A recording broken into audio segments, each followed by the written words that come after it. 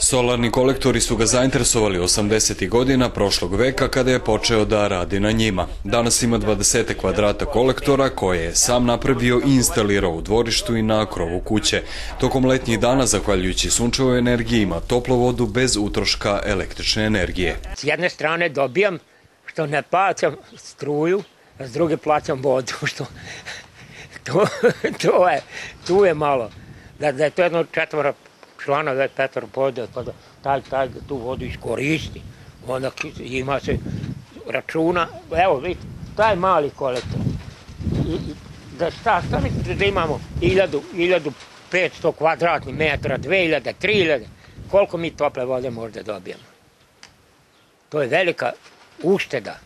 Nijedna institucija u našoj zemlji do sada nije pokazala interesovanje za njegovim izumima. Plavšić kaže da iako je tražio, nije naišao na podršku nadležnih. Velika podrška mu je supruga Ankica, koja ga ohrabruje u naporima da ono što zamisli to i isprovede u delo. Dodatni motiv su mu i takmičenja sa kojih se vraća nagrađen priznanjima. Naši to ne cene, a više nas cene strane države. On nije ni čudo.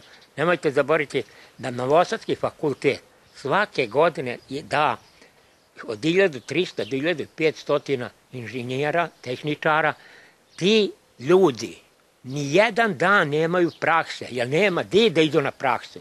Šta može? Može jedino da ide u inostranstvo, jedna grupa koja, a ko, može, ko ne može, može da ide kod drugda da kopa. Naš inovator našao se i na velikom platnu. Proslavljenom reditelju Emiru Kusturici bio je zanimljiv Čika Miletov samohodni transporter koji je iskoristio u filmu Crna mačka, Beli mačor.